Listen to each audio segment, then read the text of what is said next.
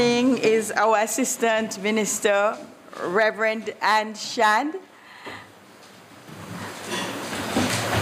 And I'm sure she will bring to us words that will inspire, heal, and bless, and leave us with something to chew on as we go, as we leave here this morning. Reverend Ann.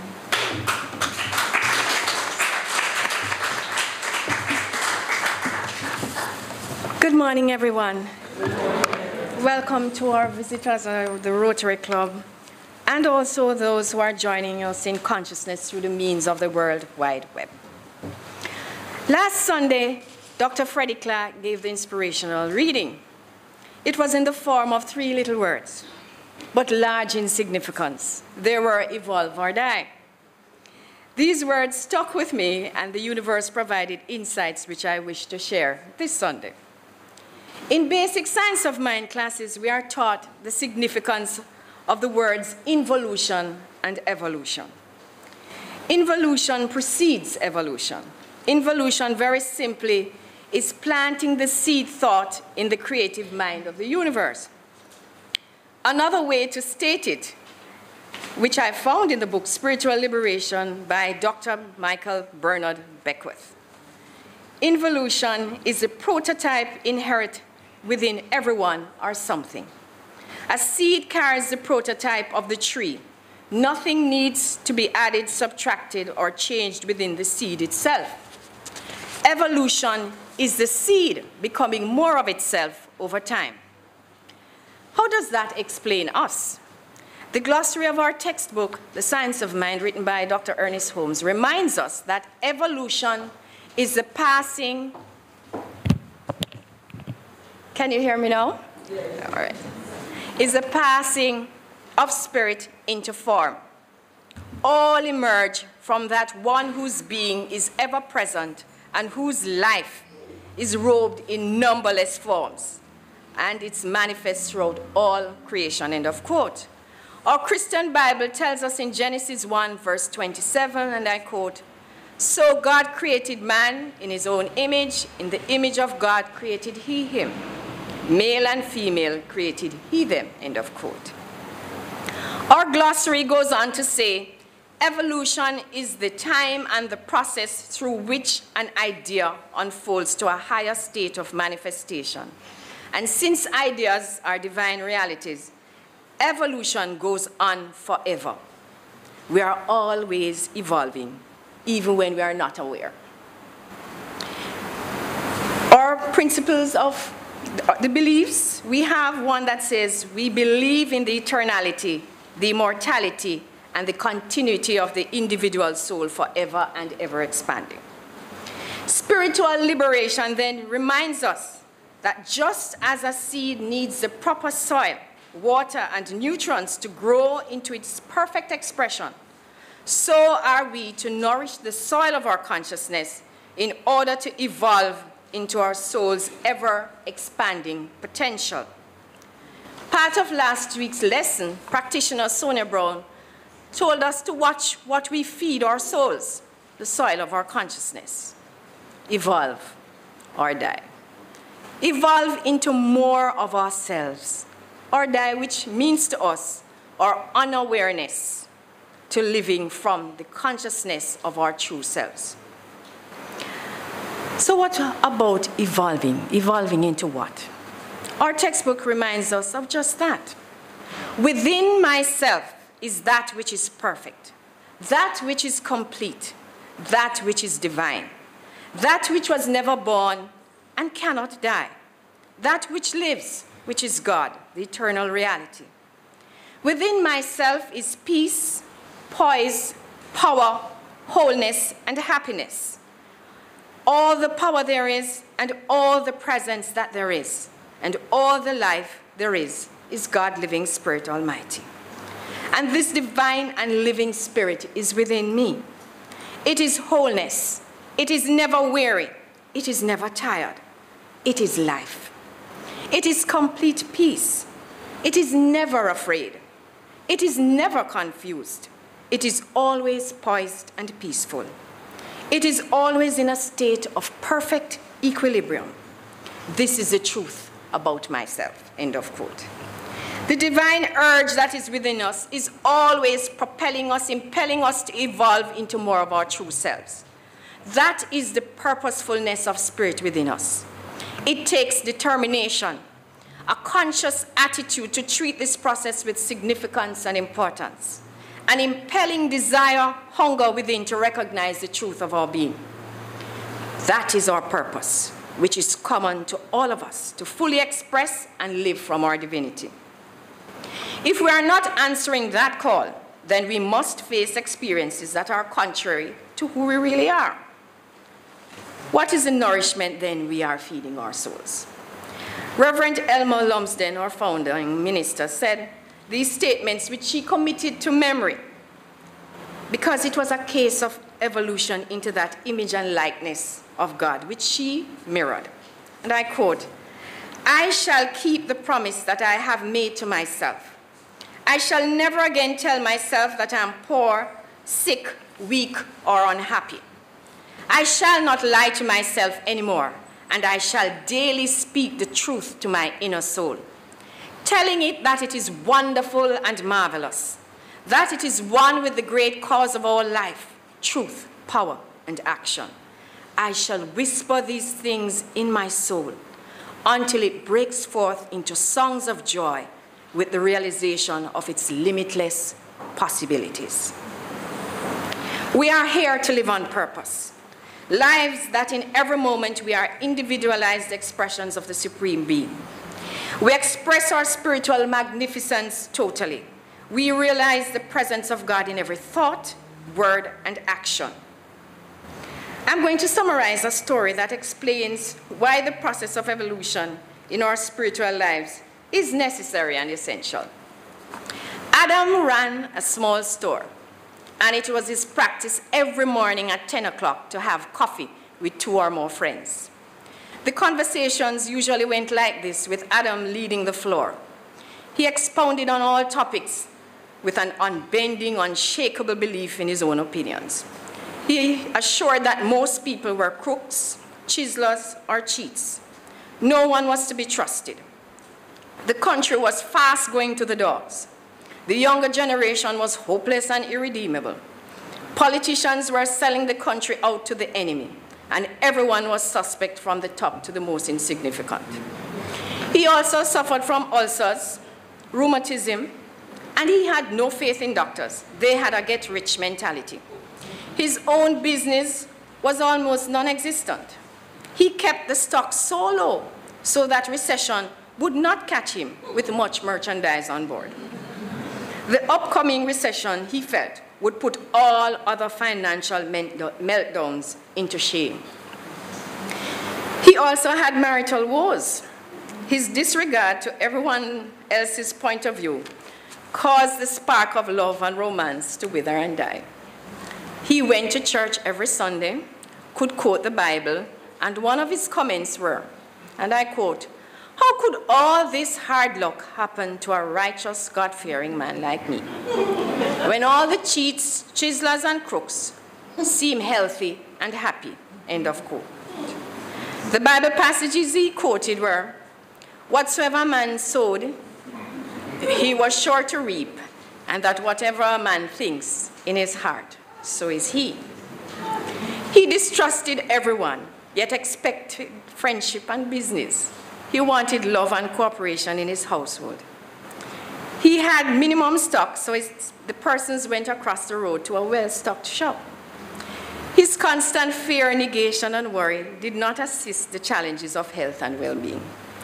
This gentleman was a perfect demonstration of the second part of the statement, evolve or die. At the time of the story, he was still waiting on God to swoop down from the heavens to segregate the good and bad, and he was going to heaven. This story is not about criticism or judgment. It's just a story about another being like us who believed in a different story of who he really is. It is a lesson of how to truly demonstrate the content of our belief systems and opinions. So let us look at life experience of a being focused on truly evolving into its divine heritage. Troward describes us as miniature reproductions of the original spirit, and our contemplation of it becomes the contemplation of itself from the standpoint of our own individuality. How do we contemplate more of our real selves? What is the process of becoming more of ourselves? How do we be evolved? And by what it means. We focus on our spiritual growth and unfoldment by whatever practices that resonate with our awareness. Practices like meditation, affirmative prayer, courting the silence, study, visioning, centering, sacred service, self inquiry, mindfulness, yoga, contemplation, visualizing, and other practices that are not named here.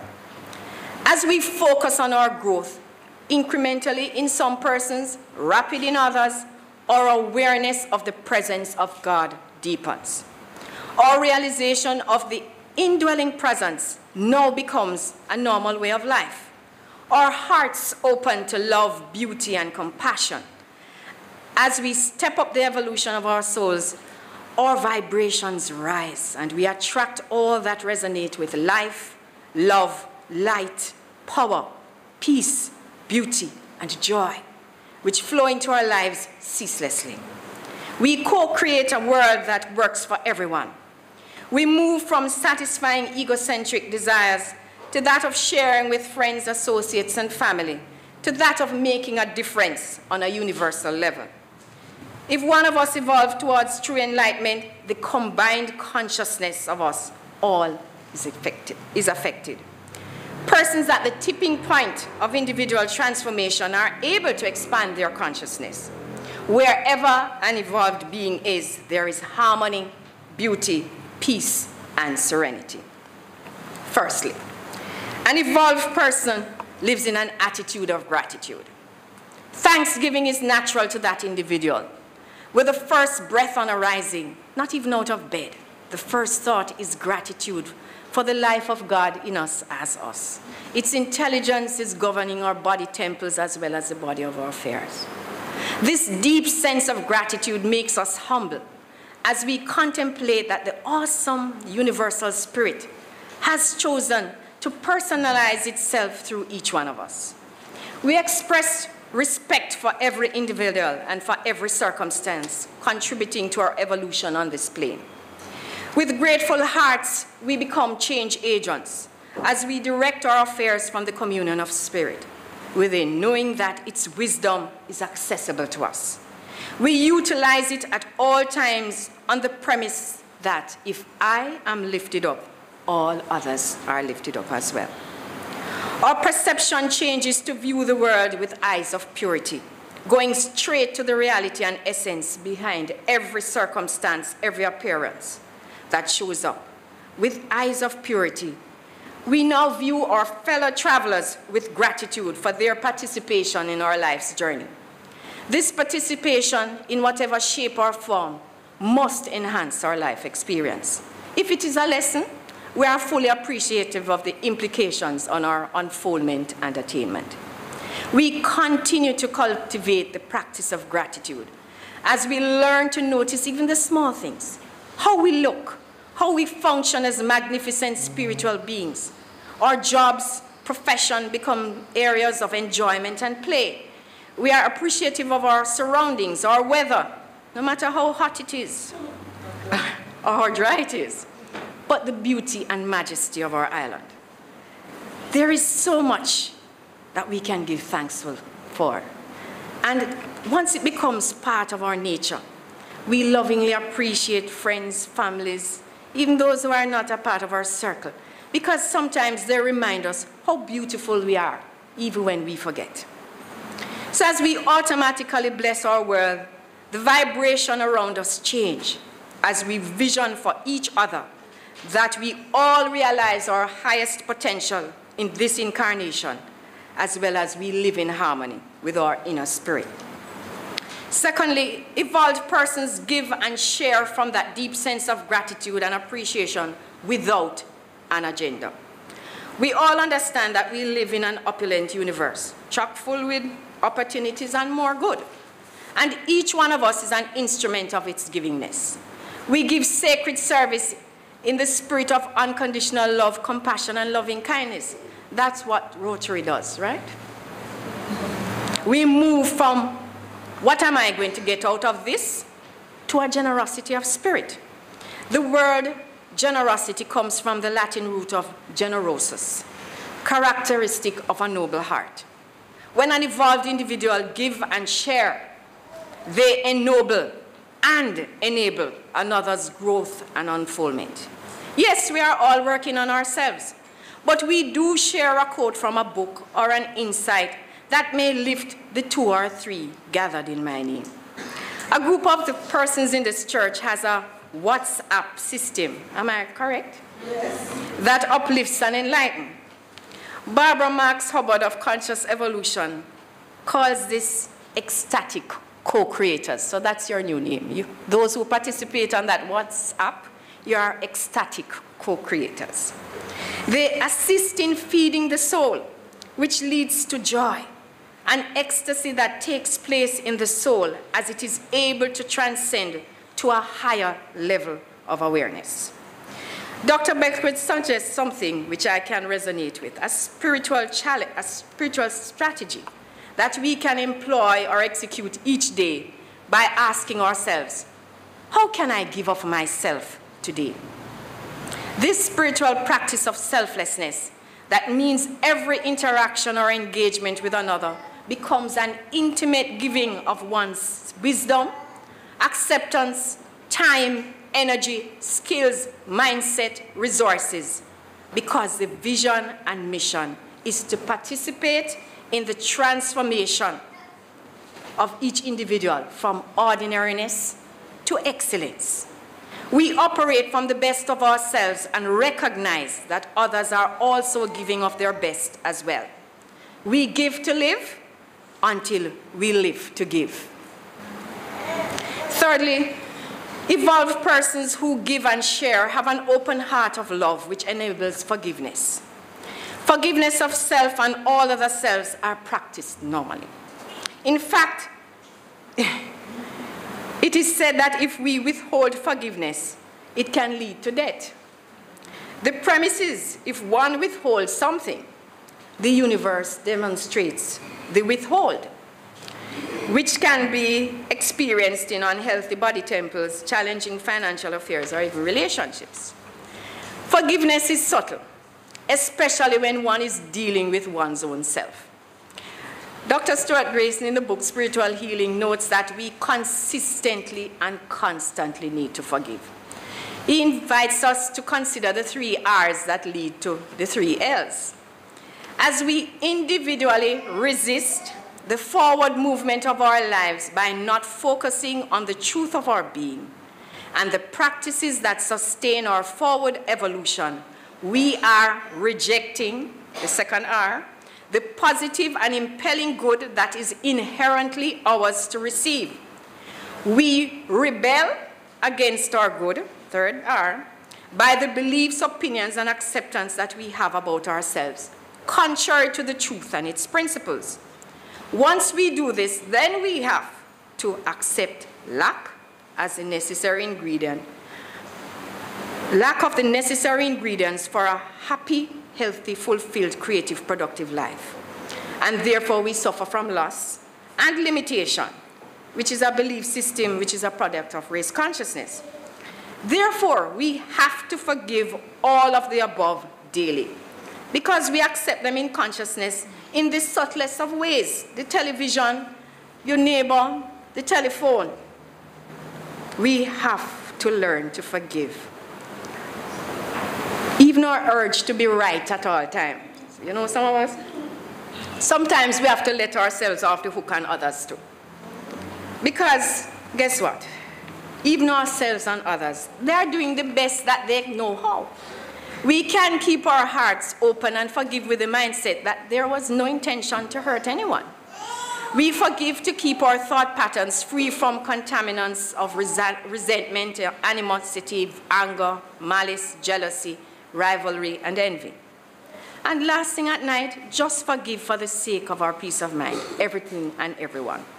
So we can restore our hearts to its natural state of love, and our actions are now those of kindness and service to our fellow beings. Evolved persons live their lives as a celebratory experience in a highly charged sense of enthusiasm, joy, spontaneity, lightheartedness. That's Reverend, um, Reverend Sonia, don't?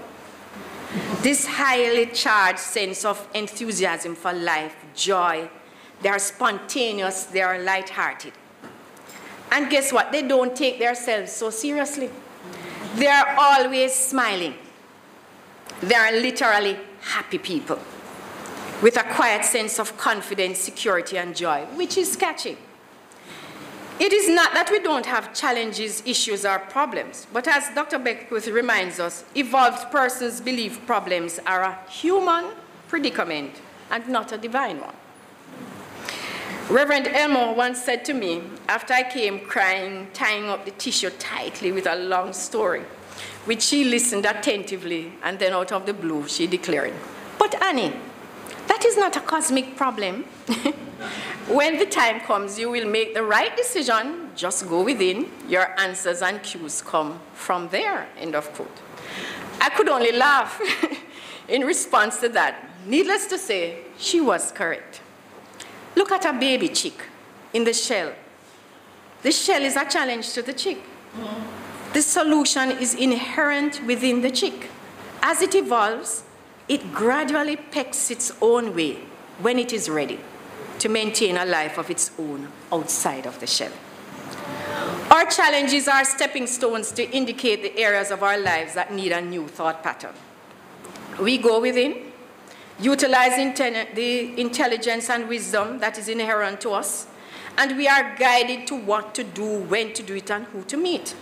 We are guided to move our feet, but the intention must be to do just that. We cannot receive the cues and stay in one place and expect the God above to swoop down and save the day. Don't work. Our inexhaustible life force, our innate capacity to handle our life experiences have not gone anywhere while we focus our awareness on what we don't want. We focus on what we want to experience and feed the seed thoughts to the soul of our being and then the universe then conspires to manifest the truth of our being. Evolved persons accept their natural propensity to govern their lives and affairs from the truth that we are one with God, living Spirit Almighty. We go within first at all times. We do not imitate anyone. We trust our own inner guidance systems to direct us into paths that allow us to fully realize our potential. The world of effects do not determine our life experience. We do not, we do not wait on the world of effects to approve of us or convince us that we are worthy. No, no, no. We pull up our shoulders, stand up tall, heads up, look directly in front, assume our regal bearing. We are sons and daughters of the divine. We accept nothing less. We live in an environment of excellence by nature of who we are.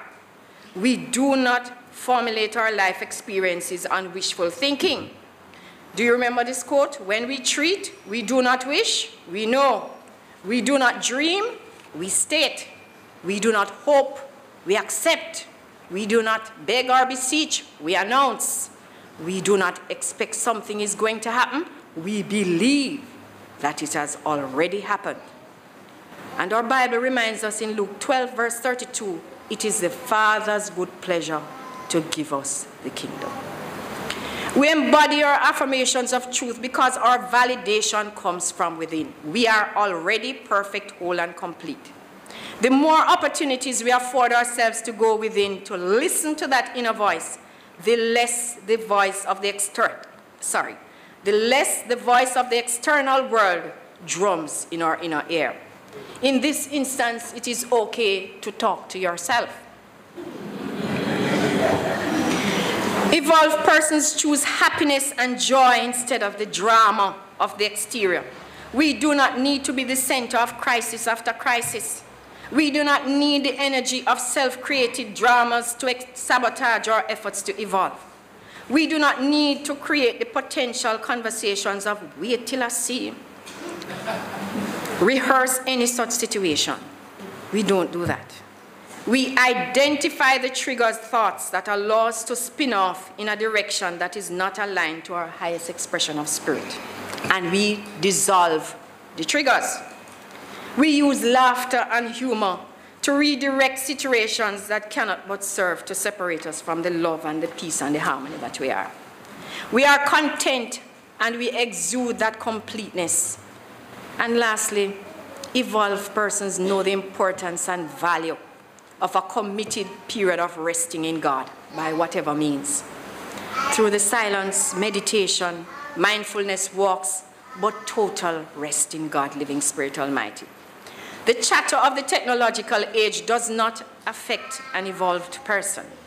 We know that these gadgets are totally useful, but we are not governed by them.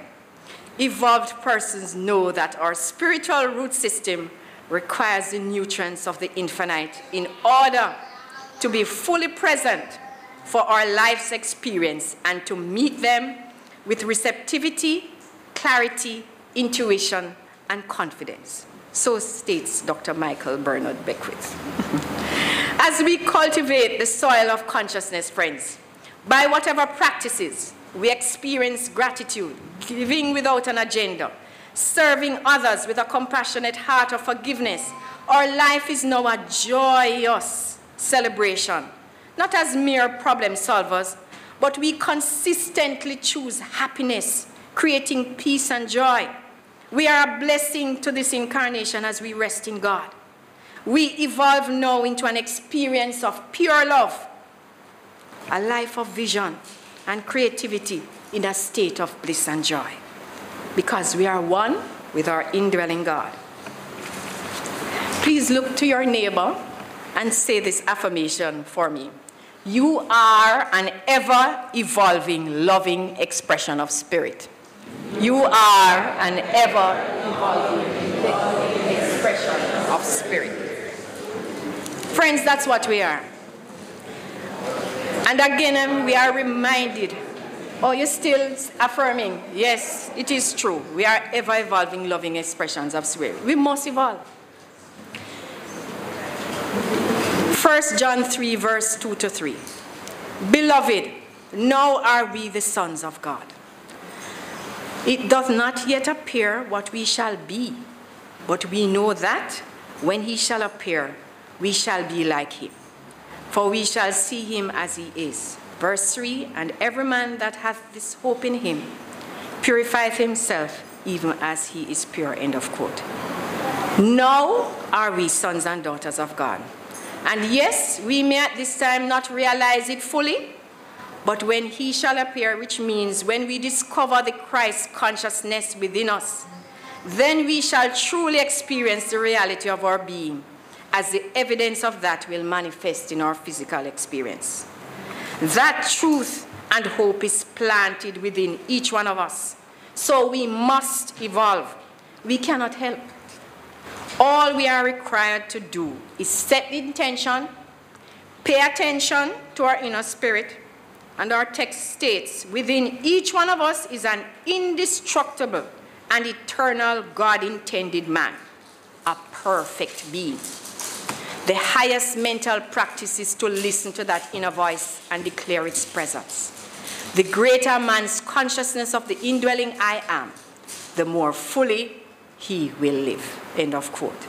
So let us, with conviction and certainty, remember that we are perfect beings at our core. We must practice to be evolved beings. We give thanks, we serve each other, we forgive, we celebrate life, and we rest in the Almighty. Namaste.